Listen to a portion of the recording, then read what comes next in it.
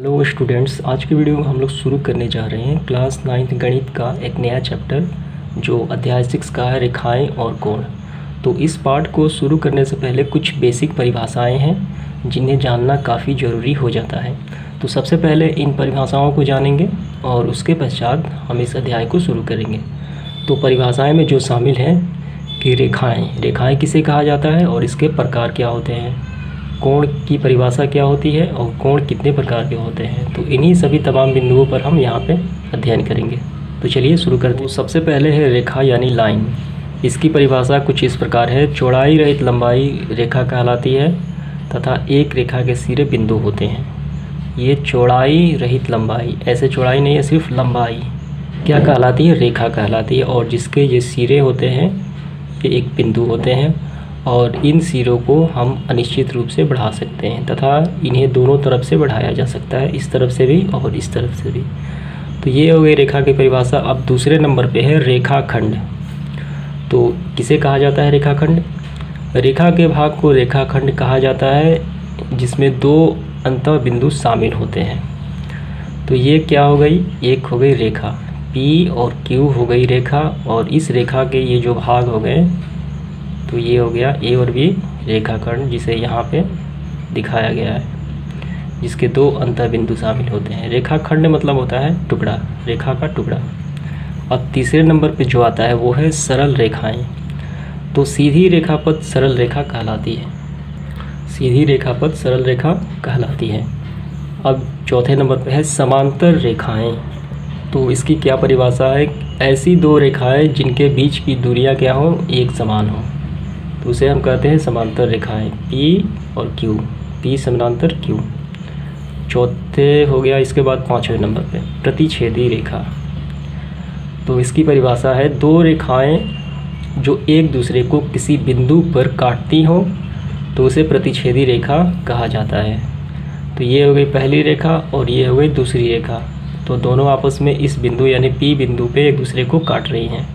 तो इसे हम कहेंगे प्रतिच्छेदी रेखा। और इसके बाद है सिक्स नंबर पे किरण। यानी इसकी क्या परिभाषा है? एक ऐसी रेखा जिसके स्टार्ट पॉइंट हो, यानी सिर्फ़ प्रारंभ बिंदु हो और अंत पॉइंट ना हो तो उसे कहा जाता है किरण। तो ये हो गया एक किरण। ये जो प्रारंभ स्रोत है, सिर्फ़ हमें वही ज्ञात होता है किरण में कि ये जो रेखा है, या जी ये जो लाइन है, कहाँ से निकली है। सिर्फ़ प्रारंभ बिंदु होते हैं किरण में। जैसे सूर्य का प्रकाश जो होता है, सूर्य की किरण ठीक?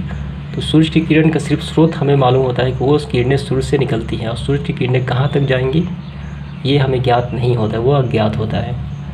तो ऐसी रे एक ऐसी रेखा जिसका सिर्फ़ स्टार्ट पॉइंट हो, यानी प्रारंभ बिंदु हो, और अंत कोई मालूम ना हो, ठीक? वो अनंत हो तो उसे हम कहते हैं किरण। इसके बाद है सातवां। सरेखी बिंदु।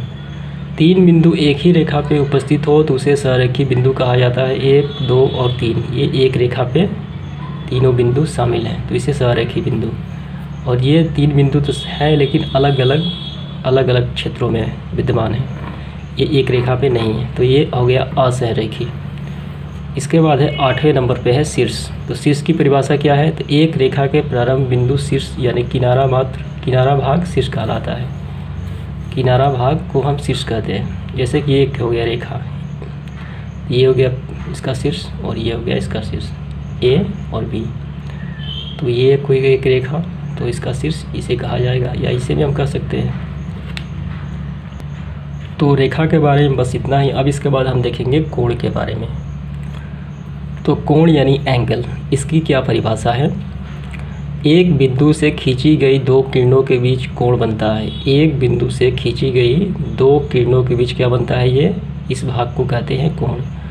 और जो ये खींची जाती है किरणें, इसे कहा जाता है भुजा। ये भी हो गई भुजा और इसे कहा जाता है शीर्ष और ये हो गया कोण। तो ये परिभाषा है। अब इसके बाद कोण की प्रकार, कोण कितने प्रकार के होते हैं? तो पहला है न्यून कोण। जब किसी कोण का मान 90 डिग्री से कम तथा ज़ीरो डिग्री से अधिक हो, यानी ज़ीरो से नब्बे के बीच में उस कोण का मान हो तो उसे हम कहेंगे न्यून कोण। तो इसको इस प्रकार प्रदर्शित किया जाएगा, यानी ये तो हो गया नब्बे तो इसके बीच में ये शामिल है। दूसरा है समकोण। तो समकोण काफ़ी आसान है, यदि किसी कोण का मान 90 डिग्री डिग्री हो 90 अंश हो तो उसे हम समकोण कहते हैं। तो ये हो गया समकोण, आप इसको ऐसे भी बना सकते हैं, सिर्फ़ 90 डिग्री पे होना चाहिए। अब इसके बाद है, तीसरे नंबर पे है, अधिक कोण। जब किसी कोण का मान 90 से अधिक, लेकिन 180 से कम हो, उसे कहा जाता है अधिक कोण। तो ये 90 से तो ज़्यादा है, लेकिन 180 से थोड़ा सा कम है। तो ये जो कोण बनेगा, ये हो गया अधिक कोण। आपको ये पॉइंट ही सिर्फ़ ध्यान रखने हैं 90 से 180 जहाँ जहाँ ये दर्शाया गया है उसको आपको ध्यान रखना है। अब इसके बाद है चौथे नंबर पे है रिजु कोण या सरल कोण। ये काफ़ी महत्वपूर्ण है क्लास नाइन्थ में। इस पर बहुत सारे सवाल भी हैं। रिजु कोण यानी सरल कोण। तो सीधी रेखा पे बना कोण, सीधी रेखा पे जो कोण बनता है, वो क्या होता है? वो होता है रिजु कोण। और इसका मान कितना होता है? इसका मान होता है 180 डिग्री। यानी सीधी रेखा पे जो कितना कोण का मान होता है, ये होता है 180 डिग्री का। इसके बाद है संपूर्ण कोण। संपूर्ण मतलब होता है पूरा। तो एक रेखा पे जो वृत्तीय, जो वृत्त के केंद्रीय कोण बनते हैं, उसे कहते हैं संपूर्ण कोण। यानी चारों तरफ़ गोल, एकदम गोल होने चाहिए। ये हो गया संपूर्ण कोण, इसका मान होता है 360 तो इसके बाद है आठवें नंबर पे है पूरक कोण। जब दो कोणों का योग 90 प्राप्त हो, उसे कहते हैं पूरक कोण।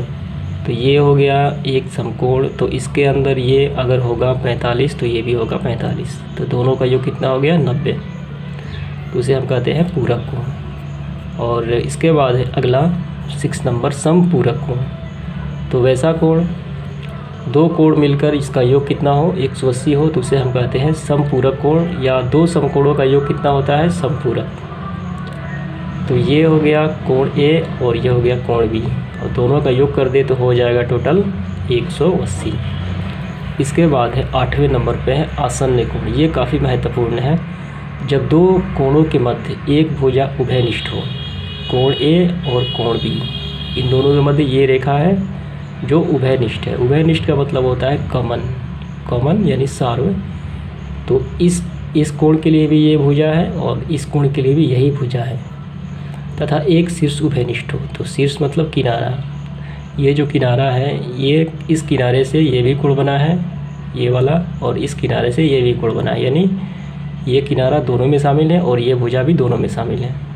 तो ये इसे कहा जाता है उभयनिष्ठ, यानी सार्व, यानी कॉमन। तो इसे आसन्न कोण कहा जाता है। तो इसे उस आसन्न कोण कहा जाता है। ये काफ़ी आसान है। अब है नौवें नंबर पे शीर्षाभिमुख कोण। ये भी काफ़ी महत्वपूर्ण है। जब दो रेखाएँ एक दूसरे पर प्रतिच्छेद करती हो यानी काटती हो तो वहाँ शीर्षाभिमुख कोण बनता है और जहाँ आमने सामने के कोण बराबर होते हैं। तो ये रेखा और ये रेखा। जब आपस में बाइसेक्ट हो यहाँ पे तो यहाँ जो कोण बनेंगे, वो कोण बनेंगे शीर्षाभिमुख कोण। और आमने सामने के कोण क्या होंगे? बराबर। जैसे में कि कोण एक, कोण वन बराबर कोण तीन, कोण फोर बराबर कोण दो। अगर ये चालीस है तो ये भी चालीस। अगर ये सत्तर है तो ये भी सत्तर। आपको सिर्फ़ सामने वाला ही देखना है। ये ये ये बराबर नहीं होगा। ठीक है? आमने सामने के कोण क्या होंगे? बराबर होंगे। तो इसे कहा जाता है शीशाभिमुख कोण। और तो ये हो गया नौ नंबर। इसके बाद है प्रतिवर्ती। प्रतिवर्ती कोण वैसा कोण, एक सौ अस्सी से ज़्यादा, लेकिन तीन सौ साठ से कम हो। उसे कहते हैं प्रतिवर्ती कोण। तो ये कुछ बेसिक बातें थी जो रेखा और कोण से संबंधित थी। तो उम्मीद करता हूँ आपको काफ़ी बेहतर तरीके से समझ में आ गया होगा। तो इसके बाद हम लोग देखेंगे अगले वीडियो में एक्सरसाइज तो आज के लिए इतना ही। धन्यवाद।